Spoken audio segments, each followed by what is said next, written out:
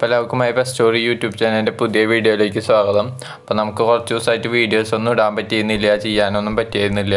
അപ്പോൾ ഇന്നത്തെ വീഡിയോയിലൂടെ നമ്മൾ നോക്കാൻ പോകുന്നത് നിയോൺ ടെട്രാനെ കുറിച്ചുള്ള ഫുൾ ഡീറ്റെയിൽസ് ആണ്. അതിന് കൊടുക്കേണ്ട ഫീഡ് അതേപോലെ തന്നെ അതിനെങ്ങനെ കെയർ ചെയ്യാം അതിന്റെ ബ്രീഡിങ് അപ്പോൾ ആ വീഡിയോസൊക്കെ നിങ്ങൾ മാക്സിമം സ്കിപ്പ് ചെയ്യാതെ ഫുള്ള് കാണാൻ ശ്രമിക്കുക.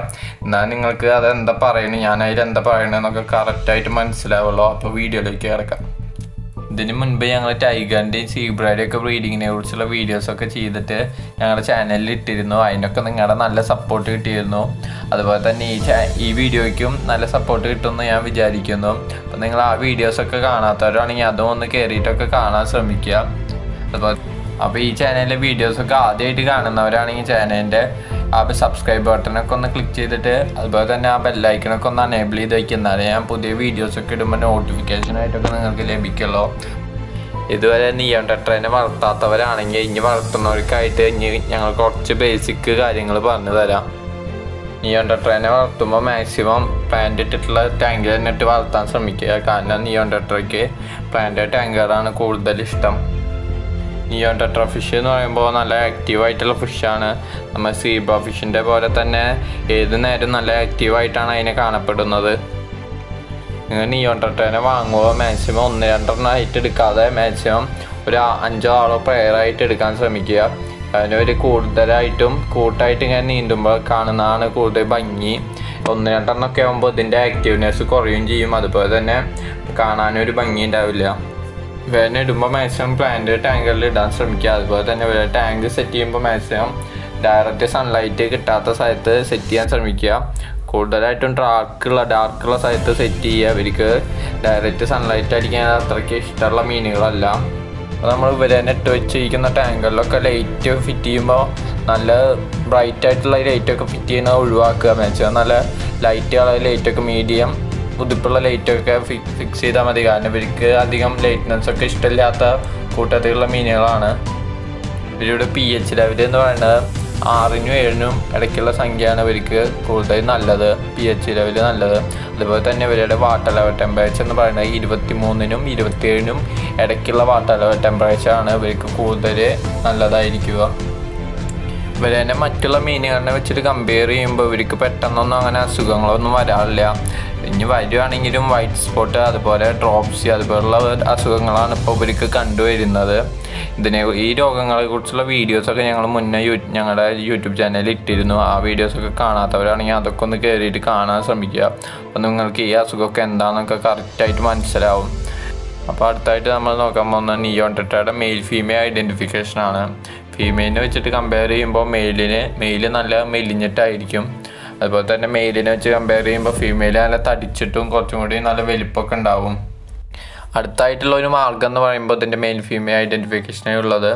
ഇവരുടെ മേത്തിൽ കൂടെ ഒരു വെള്ള വര പോകുന്നുണ്ട്. അത് മെയിലിന്റെ എന്ന് പറയുമ്പോൾ നല്ല സ്ട്രെയിറ്റ് ആയിട്ടാവും പോകുന്നുണ്ടാവുക. ഫീമെയിലിന്റെ എന്ന് പറയുമ്പോൾ ചെറിയൊരു വളവുണ്ടാവും.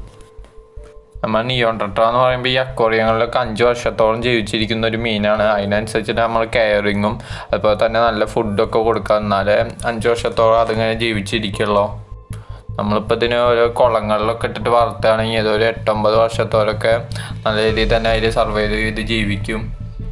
അപ്പോൾ ഞാൻ അടുത്തായിട്ട് പറയാൻ പോകുന്നത് ഇതിന്റെ ബ്രീഡിങ്ങിനെ കുറിച്ചാണ്. അപ്പോൾ നമ്മൾ ബ്രീഡിങ്ങിനായിട്ട് എടുക്കുമ്പോൾ കുറച്ചുകൂടി എഗ് ആയിട്ടുള്ള ഫീമെയിൽസിനൊക്കെ ബ്രീഡിങ്ങിനായിട്ട് എടുക്കാൻ ശ്രമിക്കുക. എന്നാലും കുറച്ചുകൂടി നല്ല രീതിയിൽ തന്നെ നമുക്ക് കുഞ്ഞുങ്ങളെ ഇന്ന് ലഭിക്കുള്ളൂ ബ്രീഡിംഗ് എന്ന്. ഈ മീൻ ഏകദേശം നൂറോളം മുട്ട ഇടുന്ന ഒരു മീനാണ്. അതിപ്പോൾ എല്ലാ മുട്ടയും ഫെർട്ടിലൈസ് ആവണമെന്നില്ല. നമുക്കതിന് ഏകദേശം ഒരു നാൽപ്പത്തഞ്ച് ശതമാനം കുഞ്ഞുങ്ങളിനൊക്കെ കിട്ടിയെന്നൊക്കെ വരും. നിങ്ങളിപ്പോൾ ബ്രീഡിങ്ങിനായിട്ട് എടുക്കുമ്പോൾ ഒരു പെയർ എടുക്കാതെ ഒരു രണ്ട് മൂന്ന് പെയറായിട്ട് ബ്രീഡിങ്ങിന് ഇറക്കാൻ ശ്രമിക്കുക. കാരണം ഏതെങ്കിലും ഒരു മെയ്റ്റ് ഫെർട്ടിലൈസ് ആവാതെ നിൽക്കുന്നുണ്ടെങ്കിലും വലിയ കുഴപ്പമുണ്ടാവില്ല. ബാക്കിയുള്ള മെയ്റ്റ്സ് നോക്കിക്കോളും. നിങ്ങൾ ബ്രീഡിങ്ങിനായിട്ട് ഇവരുടെ ടാങ്കുകളൊക്കെ സെറ്റ് ചെയ്യുമ്പോൾ മാക്സിമം നല്ല ഡാർക്ക് സ്ഥലങ്ങളിലൊക്കെ സെറ്റ് ചെയ്യാൻ ശ്രമിക്കുക. കാരണം ലൈറ്റ്നെസ് ഉള്ള സ്ഥലങ്ങളിലൊക്കെ ഫിറ്റ് ചെയ്ത് കഴിഞ്ഞാൽ മുട്ട ഇടാനുള്ള സാധ്യത കുറയും. മാക്സിമം ബ്രീഡിങ്ങിനായിട്ട് എടുക്കുമ്പോൾ നല്ല എഗ്ഗുള്ള ഫീമെയിലിനെ തന്നെ എടുക്കാൻ ശ്രമിക്കുക. അല്ലാണ്ട് എഗ്ഗില്ലാത്ത ഫീമെയിലിനെ എടുത്ത് ബ്രീഡ് ചെയ്യാൻ ശ്രമിച്ചാൽ നമുക്ക് കുഞ്ഞുങ്ങാനൊന്നും കിട്ടില്ല എന്ന്. കാരണം ബ്രീഡ് തന്നെ ആവില്ല. അപ്പോൾ ഇവരെ ടാങ്കൊക്കെ സെറ്റ് ചെയ്തതിന് ശേഷം ആ ടാങ്കിലേക്ക് കുറച്ച് പ്ലാന്റ്സ് ഒക്കെ ഇട്ട് കൊടുക്കുക. കാരണം അവർ ഇവരുടെ മുട്ടകളൊക്കെ സ്റ്റിക്ക് ചെയ്ത് വെക്കുന്ന കൂട്ടത്തിലുള്ള മീനുകളാണ്. അപ്പോൾ അവർ ആ പ്ലാന്റ്സിക്കൊക്കെ സ്റ്റിക്ക് ചെയ്ത് വെച്ചോളും. അപ്പോൾ അതിനൊക്കെ ശേഷം നമ്മൾ ബ്രീഡിംഗ് ഒക്കെ കഴിഞ്ഞതിന് ശേഷം ഈ മെയിലിന് ഫീമെയിലിന് ആ ടാങ്കിൽ നിന്ന് അപ്പോൾ തന്നെ മാറ്റിയിടുക. കാരണം ഇവരൊക്കെ മുട്ടൊക്കെ പെട്ടെന്ന് പെട്ടെന്ന് തിന്നുന്ന ഒരു മീനാണ്. അപ്പോൾ നമ്മൾ മാറ്റിയിടാൻ വൈകി കഴിഞ്ഞാൽ ആ ടാങ്കിലെ എല്ലാ മുട്ടകളും ഇവർ തിന്ന് തീർക്കും. അപ്പോൾ ഇത് മുട്ടയിട്ടതിന് ശേഷം ഏകദേശം ഇരുപത്തിനാല് മണിക്കൂറിനുള്ളിൽ തന്നെ ഈ മുട്ടയൊക്കെ വിരിഞ്ഞ് കുഞ്ഞുങ്ങൾ ഇറങ്ങി തുടങ്ങും. അപ്പോൾ ഈ കുഞ്ഞുങ്ങളൊക്കെ ഇറങ്ങി കഴിഞ്ഞാൽ അവർക്ക് മൂന്ന് ദിവസത്തേക്കൊക്കെ ഫുഡ് കൊടുത്തില്ലെങ്കിൽ കുഴപ്പമില്ല. അവർക്ക് ഇവിടെ മേത്ത് തന്നെ ഇവർക്കുള്ള ഫുഡ് മൂന്ന് ദിവസത്തേക്കൊക്കെ ഉള്ളത് ഉണ്ടാവും. അപ്പോൾ ഈ മുട്ടകളൊക്കെ വിരിഞ്ഞു കഴിഞ്ഞാൽ നമുക്കിപ്പോൾ പെട്ടെന്ന് കാണാൻ പറ്റിയെന്ന് വരില്ല. ഒരു നാലോ അഞ്ചോ ദിവസം കഴിഞ്ഞാൽ കറക്റ്റായിട്ട് ഇതിനെ കാണാൻ പറ്റുള്ളൂ. കാരണം അത്രയ്ക്ക് ചെറുതാവും. സൂക്ഷിച്ച് നോക്കിയാലേ കാണാൻ പറ്റുള്ളൂ ശരിക്കും. അപ്പോൾ നിങ്ങൾ മൂന്ന് ദിവസത്തിന് ശേഷം ഇവർക്ക് ഫീഡൊക്കെ കൊടുത്തു കൊടുക്കാവുന്നതാണ്. ആദ്യം നമ്മൾ കൊടുക്കേണ്ടതെന്ന് പറഞ്ഞാൽ ഇൻഫോസോറിയാക്ക് കൾച്ചർ ചെയ്തിട്ടൊക്കെ നിങ്ങൾക്ക് കൊടുക്കാവുന്നതാണ്. അപ്പോൾ അതിന് സാധിക്കാത്തവരാണെങ്കിൽ മുട്ടയുടെ ഉണ്ണി കുറച്ച് എടുത്തിട്ട് വെള്ളത്തിൽ കലക്കിയിട്ട് നിങ്ങൾക്ക് കൈക്ക് ഒഴിച്ചു കൊടുക്കാവുന്നതാണ്. മുട്ടയുടെ ഉണ്ണി എന്ന് പറയുമ്പോൾ ഞങ്ങൾ അധികമായിട്ട് അങ്ങനെ റെക്കമെൻഡ് ചെയ്യില്ല. കാരണം അത് കൂടി കഴിഞ്ഞാൽ വെള്ളമൊക്കെ കേടായിട്ട് നിങ്ങളുടെ മീന് ചാവുള്ള സാധ്യത ഉണ്ടാവും. നിങ്ങളപ്പോൾ മാക്സിമം ഈ മുട്ട ഉണ്ണി വെച്ചിട്ടുള്ള കാര്യം ഒഴിവാക്കാൻ ശ്രമിക്കുക. കാരണം നിങ്ങൾക്ക് മീനൊക്കെ ചാവാനുള്ള സാധ്യത കൂടുതലാണ്. നിങ്ങൾ മാക്സിമം ഇൻഫോസോറിയാക്ക് കൾച്ചർ ചെയ്തിട്ട് അതിന് കൊടുക്കാൻ ശ്രമിക്കുക.